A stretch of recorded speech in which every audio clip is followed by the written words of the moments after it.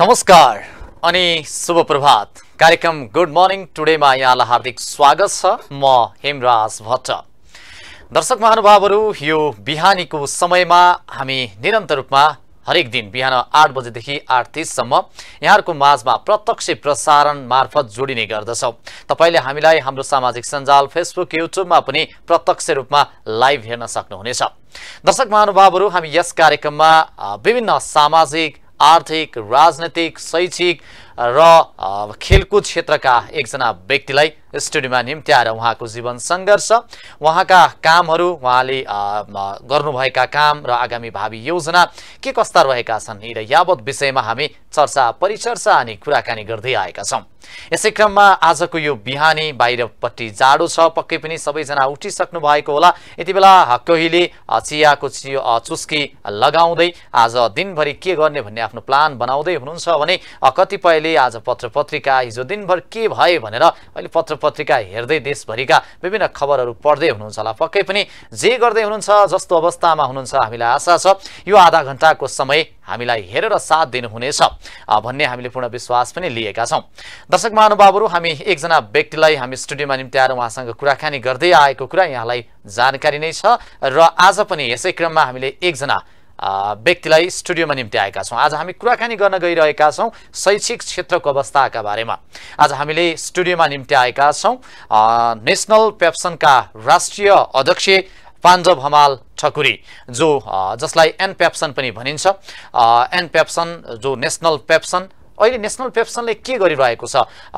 मङ्स यो मङ्सिर सत्ताइस गते मात्रै एन पेप्सनको आयोजनामा पच्चिसौँ स्थापना दिवस तथा रजत जयन्ती पनि सम्पन्न भएको छ। भव्य अनि सभ्य रूपमा कार्यक्रम सम्पन्न भएको छ। यो कार्यक्रम समग्रमा कस्तो रह्यो के रह्यो र रजत जयन्ती कसरी मनाइन्छ यी र यावत विषयमा पनि हामी कुराकानी गर्नेछौँ र यति बेला सरकार भर्खर नयाँ सरकार गठन भएको छ। प्रचण्ड नेतृत्वको नयाँ सरकार गठन भइरहँदा मन्त्रीमण्डल विस्तार हुने क्रम जारी छ र शिक्षा मन्त्रालयको अहिले कुनै टुङ्गो लागेको छैन। अबको शिक्षा नीति कस्तो हुनुपर्छ?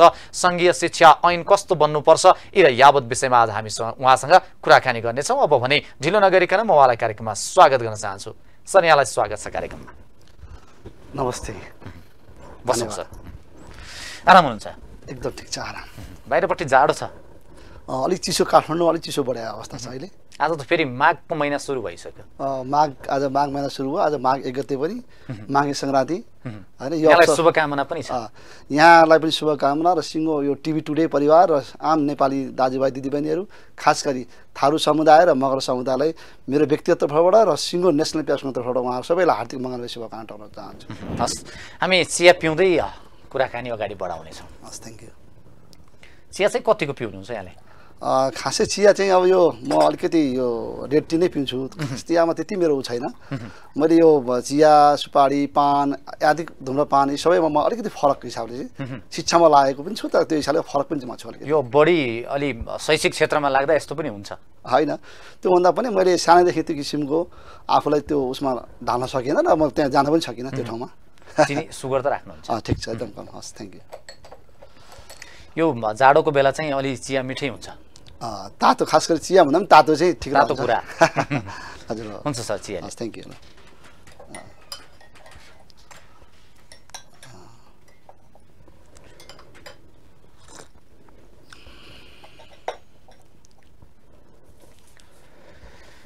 सर यो बिहानीको समय अन्य दिन आज त हामी यसरी कुराकानी गरिरहेका छौँ। बिहानीकै समय आउनु भएको छ। अन्य दिन चाहिँ कसरी बिताउनुहुन्छ यो बिहानी?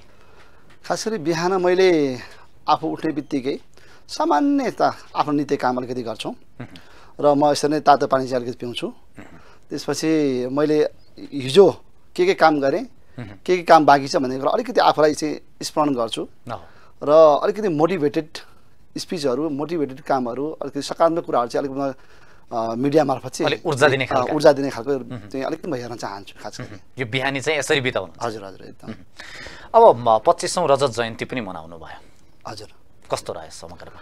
हामीले यो पुस सत्ताइस गते राष्ट्रिय निजी तथा आवश्यक विद्यालय एसोसिएसन नेपाल नेसनल प्याप्सनको पच्चिसौँ स्थापना दिवस अर्थात् रजत जयन्ती हामीले सम्पन्न गऱ्यौँ हामीले यो घडीमा आइरहँदाखेरि निजी विद्यालयको स्थापना सँगसँगै उसको स्थायित्व र स्वामित्वको अ, एउटा स- संरक्षण र सम्वर्धन गर्नका लागि जुन संस्था हाम्रो खुल्यो जुन सङ्गठन खुल्यो उसले पच्चिसौँ स्थापना दिवस मनाउनु पाउँदा मैले आफूलाई अत्यन्तै गौरवान्वित महसुस गर्छु र म आइसकेपछि मेरो नेतृत्व आइसकेपछि हामीले त्यो अवसर प्राप्त गरेँ र हामीले खास गरी विद्यालय र विद्यार्थी लक्षित कार्यक्रम हामी गऱ्यौँ र हाम्रो मुलुकभरि रहेका निजी विद्यालयहरूलाई हामीले विद्यालय तहमा उनीहरूलाई चाहिँ एउटा कार्यक्रम दियौँ। त्यो कार्यक्रमहरू चाहिँ हामीले खास गरी लोक नृत्य प्रतियोगिता हामीले सम्पन्न गऱ्यौँ। र वक्तित्व कला कार्यक्रमहरू चाहिँ हामीले पालिका हुँदै पालिकाबाट सिलेक्ट भएकालाई जिल्लामा ल्यायौँ। जिल्लाबाट चाहिँ सबै सिलेक्ट भएका बालबालिकाहरूलाई हामीले प्रदेशमा ल्यायौँ। र सातै प्रदेशहरूबाट चाहिँ त्यो राष्ट्रिय लोकनृत्य प्रतियोगिता र राष्ट्रिय वक्तित्व कला चाहिँ हामीले काठमाडौँको यो राष्ट्रिय सभागृहमा चाहिँ हामीले सम्पन्न गऱ्यौँ अस्ति पुस सतासी गते।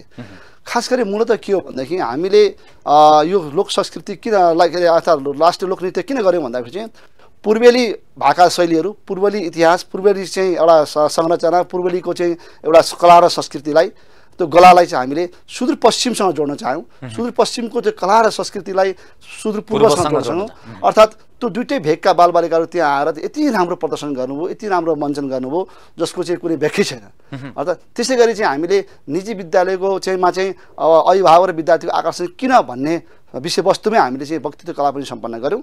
जुन वक्तित्व कला चाहिँ त्यसरी नै सम्पन्न हुँदै त्यसरी नै जिल्ला जिल्ला प्रदेश हुँदै एउटा चाहिँ आज सातै प्रदेशलाई हामीले त्यहाँ राखेर सम्पन्न गऱ्यौँ।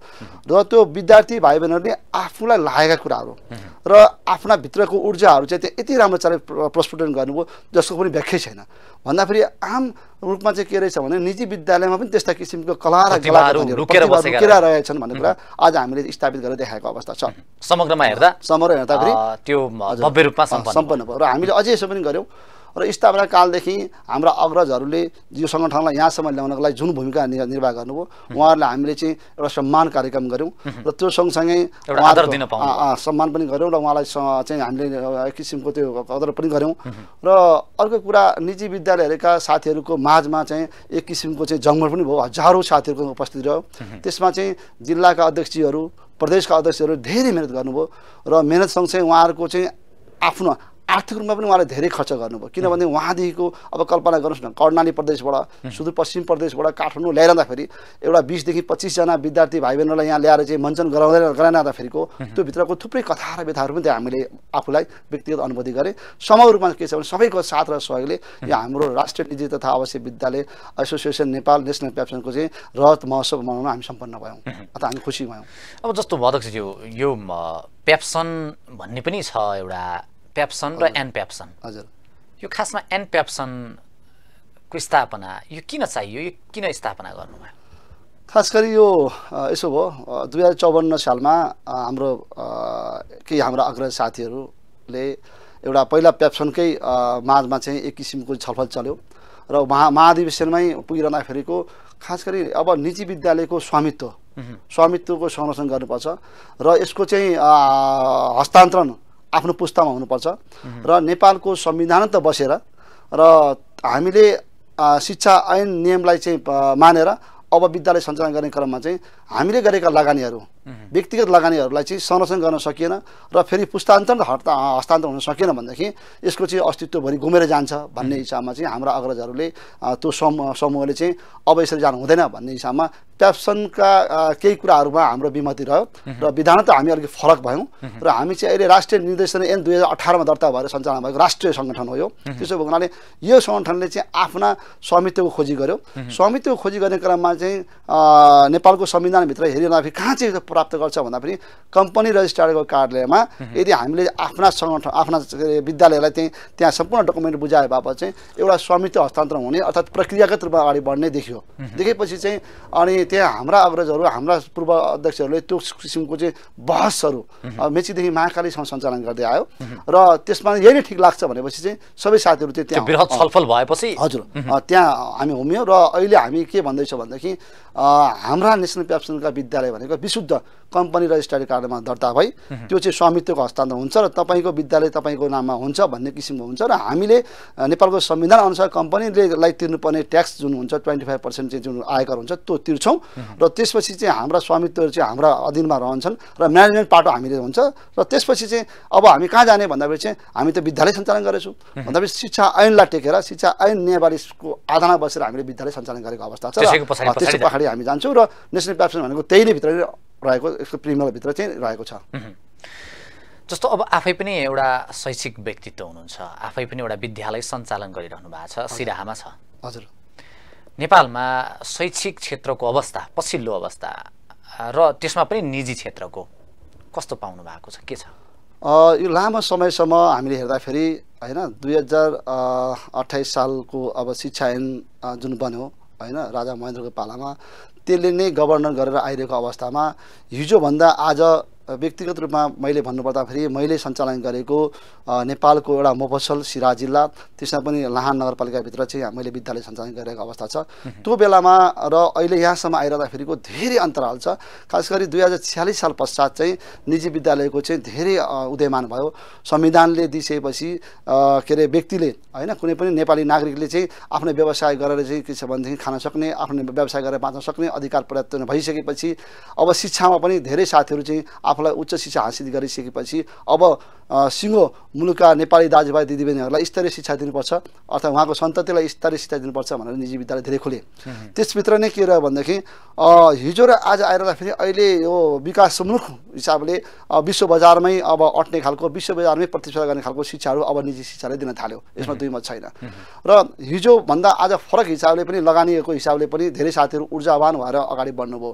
यद्यपि ती भनिरहँदा भन- भनिरहँदाखेरि पनि विभिन्न कालखण्डमा चाहे माओवादीको द्वन्द्वकालमा भन्नुहोस् सशस्त्र द्वन्द्वकालमा हुनुहोस् या मधेस आन्दोलनको सवालमा भन्नुहोस् र प्रकृति प्रकोप भूकम्पको सवालमा भन्नुहोस् र एउटा महामारी आयो कोभिडको सवालमा भन्नुहोस् यी सबै कुराले पनि कहिलेकाहीँ हामीलाई त्यो एउटा अन्तरात्माले पनि के दुखित के बनाउँछ भनेदेखि ती सबैले पनि निजी विद्यालयलाई चाहिँ के छ भने कहीँ न कहीँ असर चाहिँ पार्यो ठुलो असर पार्यो। यद्यपि त्यति हुँदाहुँदै पनि अहिले समग्र शिक्षा चाहिँ हाम्रो पनि जिम्मेवारी हो। शिक्षा राज्यको जिम्मेवारी भनिरहँदाखेरि राज्यभित्र रहेका हरेक नारीको जिम्मेवारी हो भन्ने कुरा हामीले आत्मनिर्भर गर्दै अब विद्यालयलाई अगाडि बढाउनुपर्छ भन्ने हिसाबले फेरि पनि ऊर्जावान भएर सबै साथीले विद्यालय सञ्चालन गर्नुभयो। अब यहाँले फेरि जोड्नु भएको छ हिजो र आजको शिक्षाको बारेमा हिजो एक किसिमको शिक्षाको प्याटर्न थियो। निजी विद्यालयले अङ्ग्रेजी माध्यमबाट पढ्नुपर्छ अनि निजी विद्यालय निजी विद्यालय अगाडि बढ्छ भन्ने किसिमको एउटा सोच थियो त्यो हिसाबले अगाडि बढ्यो। त्यसपछि आएर टेक्नोलोजीलाई भित्र्नुपर्छ भनेर टेक्नोलोजीकै पाटामा भित्राइयो। कम्प्युटरको कुराहरू भित्र भित्राइयो त्यसपछि विविध कुराहरू प्राविधिकमा बढी जोडियो जोड दियो होइन?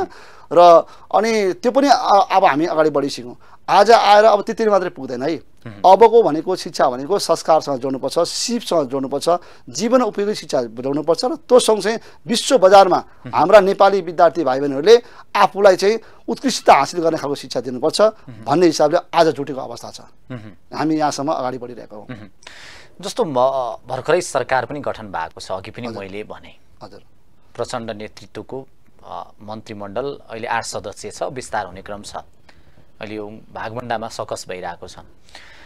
जहाँ हेर्दा पनि अहिले स्थानीय तह सङ्घीयतामा गएपछि देश तिन तहका सरकार बने र स्थानीय तहदेखि सङ्घमा केलाई प्राथमिकता दिनुभएको छ भन्दा शिक्षा स्वास्थ्य खानेपानी भन्छन्। अब यो शिक्षा स्वास्थ्य खानेपानी भनिरहँदाखेरि शिक्षामा लगानी चाहिँ कहाँ छ जस्तो लाग्छ क्या अझै पनि धेरै ठाउँका बालबालिकाहरू शिक्षाबाट वञ्चित भएको अवस्था छ। उहाँहरू विद्यालयको पहुँचसम्म पुग्न सक्नु भएको छैन। यहाँलाई के लाग्छ? सरकारले हरेक तहको सरकारले भनिरहँदा शिक्षामा हामीले लगानी गरेका छौँ वा प्राथमिकता दिएका छौँ भनिरहँदा कता कता छुटेको जस्तो अनुभव हुन्छ यहाँलाई के हुन्छ? एकदम एक्ज्याक्ट यहाँले सही कुरा भन्नुभयो। शिक्षा स्वास्थ्य लगायतका होइन आम नेपालीको समृद्धिका कुराहरू नेपाल सरकारले अथवा सरकारले गर्नै पर्छ यसमा दुई मत छैन हामीले के मात्रै भन्छौँ भने यहाँले जुन हिसाबले भन्नुभयो नेपाल सरकारले लगानी गरेका शिक्षाका जति पनि एउटा पूर्वाधारहरू छन् अथवा लगानी गरेका आर्थिक जुन रूपमा गरिरहनु भएको छ त्यो अपुग छ भन्छौँ हामी। हामी निजी विद्यालयको एउटा छात्र सङ्गठनको मैले नेतृत्व गरिरहँदाखेरि शिक्षामा भएका बहसहरूमा शिक्षा ऐन नियम र मर्स्यौदाहरूमा पनि म आफै पनि त्यहाँ पुगेर चाहिँ विभिन्न किसिमको छलफल र बहसमा बस्छौँ र हामी त्यहाँ काम पनि गर्छौँ। त्यो अवसर पनि हामीले प्राप्त गरेका छौँ।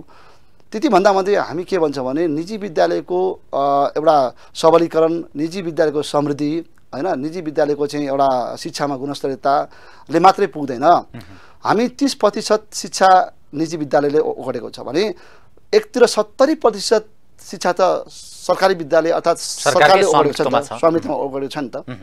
त्यसो भएको हुनाले सत्तरी प्रतिशतको एउटा समूह त्यो बाहिर छ एक एक ठाउँमा छ भने त्यसलाई त्यसको सबलीकरण र त्यसको समृद्धि र त्यसको स्थिरता आजको मुलुकमा आवश्यक छ।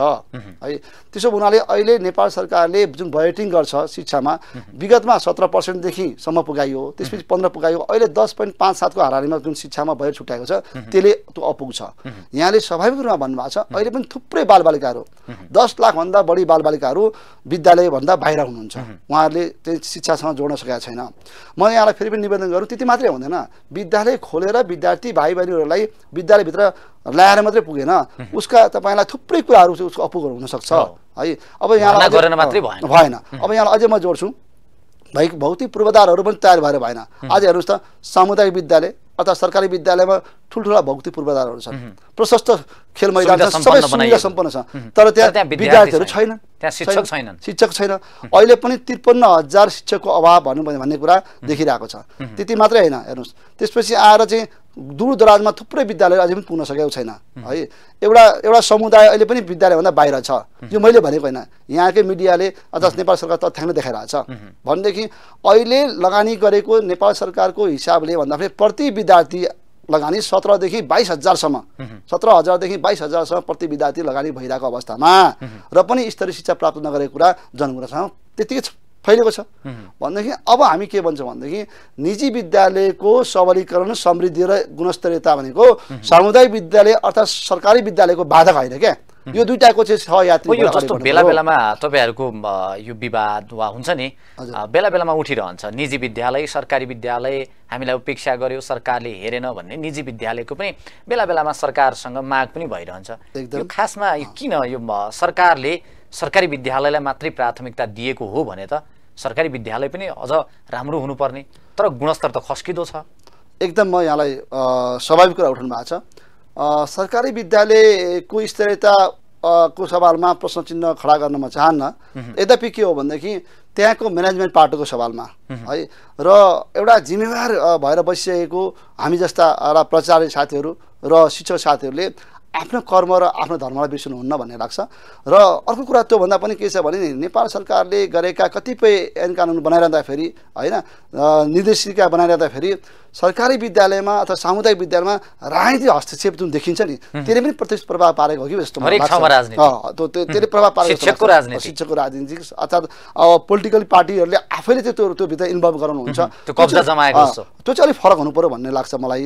एक अर्को कुरा यहाँले जुन भन्नुभएको छ नि म त्यही भन्छु क्या अब निजी विद्यालयले गरेका राम्रा पक्षहरूलाई सामुदायिक विद्यालयले पनि त्यसलाई अनुसरण गर्नु पर्यो। सामुदायिक विद्यालयका राम्रो पक्षलाई हामीले पनि अनुसरण गर्छौँ।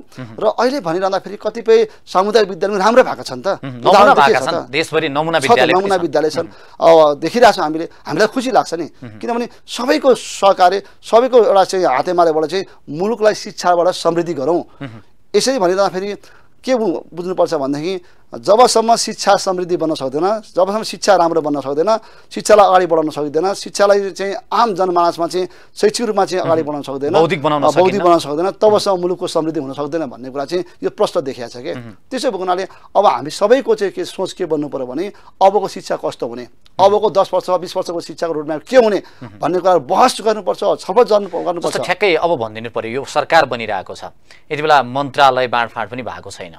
दुई तिनवटा मन्त्रालय मात्रै बाँडफाँड भएको छ। तपाईँहरूको महत्त्वपूर्ण मन्त्रालय भने शिक्षा मन्त्रालय। हजुर हजुर। शिक्षा मन्त्रालयमा अब कस्तो मन्त्री आइदिनु भयो भने अझै तपाईँहरूलाई सहज हुन्छ? वा शिक्षा नीति सरकारी सङ्घको शैक्षिक नीति कस्तो ऐन कस्तो बनिदिए तपाईँहरूको अपेक्षा चाहिँ के छ? अब हेर्नुहोस् यो नौ संशोधित शिक्षा ऐन टेबलिङ भइसकेको छ। विगतको सरकारले गत सरकारले चाहिँ पहिलेदेखिकै लामो प्रयास बा बावजुद त्यो नौ संशोधित शिक्षा कानुन मन्त्रालयमा पुग्यो अर्थ मन्त्रालयमा पुग्यो र त्यहाँबाट पनि अनुमोदन र पास भएर अहिले शिक्षा समितिमा रहेको छ। शिक्षा समितिमा रहिरहँदाखेरि हामी पनि त्यहाँ बसिरहँदाखेरि के भयो भनेदेखि मुलुकभरि नै सङ्घीय निर्वाचन र प्रादेशिक निर्वाचनहरू सम्पन्न भयो अथवा अगाडि आयो। त्यो थाँती रह्यो तर अब अहिले निर्वाचन सम्पन्न भइसकेपछि एक किसिमको आम चाहिँ राजनीतिक पार्टीहरूले आफ्ना आफ्ना प्रतिनिधित्वहरू दिएर त्यहाँ चुनाव जितेर आइसक्नुभयो र अब अहिले सरकार पनि बनिसकेको अवस्था छ। यहाँले त्यही जोड्नु चाहेँ मैले सरकार बनिसक्यो र अहिले अब मन्त्रीमण्डलहरूको विभाजनहरू गर्न बाँकी छ। अब म मेरो अनुरोध के हो भने एउटा निजी विद्यालयको छात्र सङ्गठनको एउटा राष्ट्रिय अध्यक्षको हिसाबले भन्नुहोस् या सिङ्गो मुलुकको निजी शिक्षालयको नेतृत्वको हिसाबले भन्नुहोस् अबको शिक्षा मन्त्री भनेको जसले डेप्थमा शिक्षा बुझेको हुनु पऱ्यो त्यही शिक्षाबाट मुलुकको शिक्षा बुझेको हुनु पऱ्यो होइन शिक्षा बुझ्यो भन्नाले फेरि के छ भने सर केन्द्रित शिक्षा मात्रै बुझेर भएन। गाउँ दूर दराजमा रहेका अबको शिक्षा कस्तो हुनुपर्ने? धेरै बालबालिकाहरू बाहिर हुनुहुन्छ। त्यति मात्रै होइन मुलुकको अर्थतन्त्रको अवस्थालाई हेरेर पनि होइन? जुन अभिभावकहरूको अथवा नेपाली नागरिकहरूको आजको आर्थिक अवस्था कस्तो छ? त्यसलाई सामान्य शिक्षा कस्तो हुनु पऱ्यो त्यो सँगसँगै फेरि विश्व बजारमा चाहिँ हाम्रो शिक्षालाई प्रतिष्ठा गर्ने खालको शिक्षा कस्तो हुनु पऱ्यो त्यो पनि जोड्नु पर्यो जोड्नु पऱ्यो र त्यो सँगसँगै अब शिक्षालाई बुझेका र अत्यन्तै आफूलाई चाहिँ शिक्षा मन्त्री भइसकेपछि केवल मन्त्रालयमा मात्रै मेरो जिम्मेवारी होइन भनेर दूर दराज गाउँ मफसलसम्म पुगेर सर केन्द्रित शिक्षा अब कस्तो हुनुपर्ने भन्ने किसिमको मोडलको रूपमा है पाठ्यक्रमको सवालमा पनि उहाँले ध्यान दिनुपर्ने हुन्छ। त्यसपछि आएर विद्यालयको भौतिक पूर्वाधारदेखि लिएर लगानीका कुराहरूमा पनि र शिक्षामा कति लगानी छुट्याउने भन्ने सवालमा उहाँको तर्कसहितका उहाँको बहसहरू पनि आउनुपर्छ।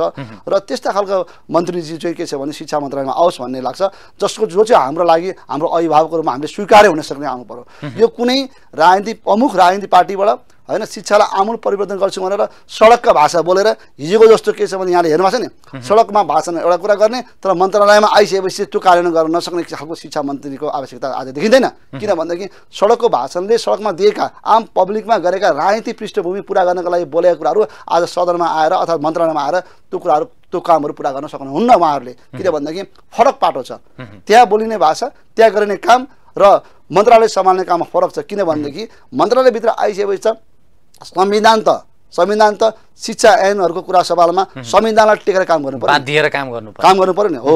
त्यस्ता खालका त्यो किसिमको भावना त्यो किसिमको कुराहरू र समग्र सामुदायिक विद्यालय निजी विद्यालय नभनिकन विद्यालयको हकितमा र सिङ्गो मुलुकको शिक्षालाई होइन कसरी चाहिँ स्थिरता बनाउन सकिन्छ र विश्व बजारमा हामी कसरी प्रतिस्पर्धा गर्न प्रतिस्पर्धा गर्न सक्छौँ भन्ने खालको सोच लिएर आउने मन्त्रीजी आउनुभयो भने हामी उहाँलाई स्वागत पनि। गर्छौँ र त्यो सँगसँगै उहाँसँग सहकार्य गरेर अगाडि पनि बढ्न सक्छौँ। त्यस्तो मन्त्री चाहिँ चाहिएको छ। हजुर एकदम। अब अब नेसनल पेप्सनले यति बेला देशभरि रजत जयन्ती त सम्पन्न भयो। र अब के गर्छ? देशभरि यसको सङ्गठन विस्तार र सबै प्रदेशमा यसलाई एउटा बलियो खम्बाका रूपमा अगाडि बढाउनका लागि यहाँले के योजना बनाउनु भएको छ? हाम्रो सङ्गठन खास गरी विद्यालय विद्यार्थी लक्षित कार्यक्रमहरू गर्छ। त्यो सँगसँगै हामीले अहिले हामीले अघि पनि मैले भने जसरी चाहिँ हामीले कार्यक्रम गऱ्यौँ अबको हाम्रो भावी योजना भनेको के छ भनेदेखि अब केही दिनपछि हामीले अब हाम्रो विद्यार्थी भाइ बहिनीहरूले अब चैत्रमा अब एसी होइन?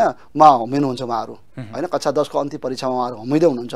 भने त्योभन्दा अगाडि हामी माघ उन्नाइस गते हामी त्यसको प्रिपरेसन होइन? एसीको प्रि बोर्ड हामी सञ्चालन गर्छौँ। जसले गर्दाखेरि अब एसीको त्यो ढोकामा पुगिरहँदाखेरिको त्यो अनुभूति कस्ता हुन्छन्? कसरी हामी त्यहाँ प्रतिस्पर्धा गर्ने? कसरी हामीले त्यहाँ उत्कृष्ट हासिल गर्ने भन्ने सवालमा चाहिँ नानी बाबुहरूलाई त्यहाँ लानको लागि विद्यार्थी भाइमा लानको लागि हाम्रो माघ उन्नाइस गते त्यो हाम्रो कार्यक्रम छ। त्यो एसी प्रि बोर्ड हामी सञ्चालन गर्छौँ। एउटा पाटो भयो शैक्षिक पाटो भयो। अरू कुरा हामी चाहिँ विद्यालय र विद्यार्थी लक्षित कार्यक्रम दिइरहँदाखेरि शिक्षक साथीहरूलाई अबको शिक्षाको बारेमा चाहिँ उहाँहरूलाई चाहिँ तालिम होइन तालिमहरू प्रदान गर्छौँ र स्तरीय शिक्षा बनाउनको लागि अब विद्यालय र विद्यार्थीसँग कक्षा कोठामा पसिसकेपछि पढाइ होइन सिकाएका कामहरू अगाडि बढाउनुपर्छ भन्ने हिसाबले हामी चाहिँ अब त्यो तालिमहरू प्राप्त दिन्छौँ। हाम्रो तालिम विभाग समिति छ हाम्रा विभिन्न समितिहरू हामीसँग छ एउटा त्यो काम गर्छौँ र त्यो सँगसँगै विद्यालयहरू अहिले कोभिडपछि भर्खरै यो शैक्षिक क्षेत्र चाहिँ अलिक लयमा लयमा। फर्किएको अवस्था छ। र आर्थिक रूपमा पनि धेरै विद्यालयहरू हाम्रो अलिकति अभावमा हुनुहुन्छ। विद्यालयका साथीहरू सञ्चालक साथीहरू अभावमा हुनुहुन्छ। विद्यालय व्यवस्थापन गर्न कठिनाइ परिरहेको अवस्था छ। र हामीले अब अब वित्तीय संस्थासँग आर्थिक रूपमा कसरी सबलीकरण गर्न सकिन्छ भनेर हामी त्यो कुरा जोड्न अगाडि बढिरहेको छौँ र त्यो सँगसँगै हामीले अहिले अब अहिले हेरिरहनु भएको छ सडकका कुराहरू सडकहरू अव्यवस्थित देखिरहेछ जनसङ्ख्या वृद्धिमा छ। होइन त्यो हिसाबले आफ्ना सुरक्षाहरू नानी बाबुको सुरक्षाहरू र अहिले हाम्रो विद्यालयहरू थुप्रै अहिले विद्यार्थीहरूलाई चाहिँ ओसार पसार गर्नको लागि सेवाको लागि चाहिँ बसहरू थुप्रो रहेको छ। यी सबैको चाहिँ हामीले अब के छ भनेदेखि एक किसिमको इन्सुरेन्सहरू गरिरहेको बिमा गरिरहेको अवस्था छ। अब हामीले भर्खरै मात्रै हाम्रो रथ महोत्सवमा हामीले एउटा इन्सुरेन्स कम्पनीसँग खास गरी यहाँलाई भनौँ नेको इन्सुरेन्ससँग हामीले चाहिँ टाइअप गऱ्यौँ र उहाँहरूसँग हाम्रो इन्सुरेन्स पार्टनर भनेर हामीले चाहिँ सहमति। गऱ्यौँ। त्यो किन भनेदेखि अब विद्यार्थीहरूको अब शिक्षक साथीहरूको हाम्रै पनि सबैको चाहिँ के छ भनेदेखि एउटा इन्सुरेन्स गर्नुपर्छ बिमा गर्नुपर्छ भन्ने सोच लगाएर हामीले गऱ्यौँ। अनि यसबाट प्रत्यक्ष विद्यालय विद्यार्थी र शिक्षक हामी सबै चाहिँ के छ भने लाभान्वित हुन्छौँ। यहाँलाई म अहिले पनि जोडौँ। युरोप कन्ट्रीमा खाना खानुभन्दा अगाडि पहिला के छ भने जन्मिनुभन्दा अगाडि जन्मिसकेपछि चाहिँ पहिला चाहिँ बिमा गर्नुपर्छ भन्ने कन्सेप्ट छ। तर हाम्रो नेपालमा त्यो कन्सेप्ट अझै पनि नभएको अवस्था छ। अनि आफूलाई सुरक्षित गर्नको लागि र आफ्नो चाहिँ भोलिका दिनमा चाहिँ के छ भने त्यस्ता किसिमका भवितव्यहरू चाहिँ भए पनि त्यसलाई चाहिँ सहजीकरण गर्नको लागि पनि बिमाको आवश्यकता छ भनेर हामीले चाहिँ नेको इन्सुरेन्ससँग हामीले चाहिँ को पार्टनर हामीले गरेर चाहिँ हामीले इन्सुरेन्सको बिमा गऱ्यौँ र एउटा पाटो त्यो भयो भने अब आर्थिक रूपमा पनि हामी ब्याङ्किङहरूसँग अब यो कमर्सियल ब्याङ्कसँग चाहिँ छिट्टै होइन एउटा चाहिँ अब सहजीकरण गर्नको लागि एउटा वित्तीय संस्थासँग चाहिँ अब हामीलाई चाहिँ एउटा सरल र सहज तरिकाले चाहिँ अब विद्यालय सञ्चालन गर्नको लागि चाहिँ टाइप गर्नको लागि पनि अब त्यो अगाडि बढाउँदैछौँ। र दोस्रो कुरो मैले अझै यहाँलाई जोडेँ। अभिभावक लक्षित कार्यक्रमहरू जस्तो अभिभावकहरूलाई पनि अबको बालबालिकालाई कसरी चाहिँ हामीले चाहिँ अब शिक्षामा जोड्नको लागि चाहिँ हाम्रो भूमिका के हुने होइन? मेरा सन्तानहरूको भविष्य कस्तो हुने अभिभावकको भूमिका के रहने भन्ने सवाल अभिभावक माझ पनि हामीले चाहिँ अभिभावकत्व ग्रहण गर्ने खालको चाहिँ एक किसिमको अब हामीले चाहिँ त्यो प्रशिक्षण कार्यक्रमहरू हरेक विद्यालयमा लानको लागि पनि हामीले त्यो जोडिरहेको छौँ। र त्यो सँगसँगै अब कक्षा कोठामा विद्यार्थी भाइ बहिनीहरूलाई अहिलेको पाठ्यक्रमले दिएका होइन मूलभूत प्रेम जुन छ त्यसलाई चाहिँ कसरी चाहिँ लान सकिन्छ भन्ने हिसाबमा पनि हामीले जोड्नको लागि चाहिँ अब छुट्टै सिकाइका विधिहरू लाने र त्यो सँगसँगै विद्यार्थी भाइ बहिनीहरूलाई चाहिँ अब पढाइ सँगसँगै बाहिरी ज्ञानहरू पनि होइन? बाहिरी ज्ञानहरू पनि जीवनमा यहाँलाई हेर्नु भएको छ त। कतिपय हाम्रा हाम्रै नेपालमा पनि धेरैले गीत गाएर पनि बाँचे आफ्नो जीवन समृद्धि गरेका छ। कसैले हाँसेर गरेका छ कसैले पत्रकारिता गरेर गरेर गर्नुभएको छ? अतिरिक्त क्रियाकलापमा हामी। त्यस जोड्नको लागि पनि अगाडि हजुर। मैले एउटा कुरा जोड्न चाहेँ। अब हामी कार्यक्रमको अन्तिमतिर पनि छौँ। निजी विद्यालयले सरकारसँग एउटा अपेक्षा गरिरहने उपेक्षा गर्यो भनेर सधैँ माग उठाइरहने तर केही दायित्व त निजीको पनि हुन्छ। जस्तो ती दूरदराजमा रहेका बालबालिकालाई आफ्नो विद्यालयमा नि शुल्क पढाउने वा केही सेवा सुविधा दिने त्यस्तो पनि गर्नुपर्ने अवस्थामा केही निजी विद्यालय सबै नभनौँ फेरि। केहीले चाहिँ नाफामूलक अत्याधिक महँगा र त्यहाँ भर्नाइ गराउन पनि नसकिने अवस्था सामान्य परिवारको व्यक्ति पढ्नै नसकिने अवस्था पढ्ने इच्छा छ। गुणस्तरीय शिक्षा भए पनि तर महँगो खालको हुने। यो एउटा व्यवसायलाई नै बढी जोड दिया जस्तो समाजमा एउटा सेवामूलक भन्दा पनि व्यापार गरेको जस्तो पनि देखिन्छ। यो तपाईँले पनि बुझ्नुभयो होला। र यो यसले गर्दाखेरि एक प्रकारको निजीलेको निजीको एकरूपता निजीको एउटा हुन्छ नि त्यो भन्ने कुरा पनि बेला बेलामा उठिरहन्छ। यसलाई के गर्नु स्वीकार गर्नुहुन्छ? यसलाई यसरी बुझ्न म आग्रह गर्छु। यहाँले भनेका कुराहरू विगतमा पनि धेरै म यसरी नै अब साझा सवालमा छलफलमा बसिरहँदाखेरि यी प्रश्नहरू आउँछन्। म यसलाई सहज रूपमा यसरी ग्रहण गर्छु। यो के हो भनेदेखि खास गरी नेपाल सरकारले शिक्षा ऐन र नियमावलीमा प्रष्ट के किटान गरेको छ भने शुल्क बारेमा महँगा कुराहरूको बारेमा चाहिँ अहिले हाम्रो कुल लागतको कुल लागतको साठी प्रतिशत चाहिँ के छ भने शुल्कको शिक्षक कर्मचारीमा चाहिँ हामीले विनियोजन गर्नुपर्छ। र बाँकी रहेका चालिस प्रतिशत चाहिँ विद्यालयको भौतिक पूर्वाधार छात्रावृत्ति अनि हामीले ऋण कर्जाहरू लिएका हुन्छौँ। त्यसका घर भाडाका कुराहरू र अन्य कुराहरूमा चाहिँ त्यहाँ समावेश गर्नुपर्ने हुन्छ। र मैले यहाँलाई जोडेँ निजी विद्यालयले अहिले पनि नेपाल सरकारले शिक्षा नि ऐनले दिएका निर्दिष्ट नियमअनुसार दस प्रतिशत छात्रावृत्ति अहिले पनि प्रदान गरिरहेको अवस्था छ। मफसलदेखि लिएर सहर केन्द्रित सबै विद्यालयहरूले एउटा सीमाङ्कित वर्गलाई होइन छात्रावृत्ति दस पर्सेन्ट दिइरहेको छ भने त्योभन्दा बढी छुट्टै रूपमा स्कलरसिप चाहिँ के छ भनेदेखि निजी विद्यालय दिएको छ। जुन उत्कृष्ट विद्यार्थीहरू कक्षा कोठामा जुन चाहिँ उसले चाहिँ विभिन्न अब अतिरिक्त क्रियाकलापमा प्रथम गर्ने अथवा राम्रा विद्यार्थीहरूलाई चाहिँ उनीहरूलाई उत्साह दिनको लागि चाहिँ दसभन्दा बढी प्रतिशत चाहिँ अझै पनि त्यसभित्र छात्रवृत्ति दिएको अवस्था छ। मैले यहाँलाई यसरी निवेदन गरेँ।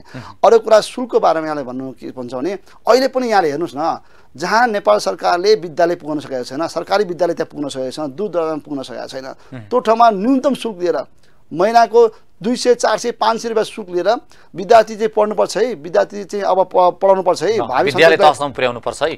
पर्छ है भनेर चाहिँ एउटा भर्ने अभियानलाई चाहिँ साकार साक- साकार पार्नको लागि पनि निजी विद्यालय ठाउँ ठाउँ खुलेको छ। भनेपछि त्यो शुल्क हेर्नुहोस् त त्यसले कसरी बाँच्न सक्छ? र पनि त्यो सुरु गरेको छ। यहाँले जोड्न चाहेको कुरा म स्वाभाविक छ म पनि सुन्ने गर्छु। यो मुलुकमा यो नेपालमा विभिन्न प्रकारका विद्यालयहरू छन्। निजी विद्यालयमा फरक फरक किसिमको छ।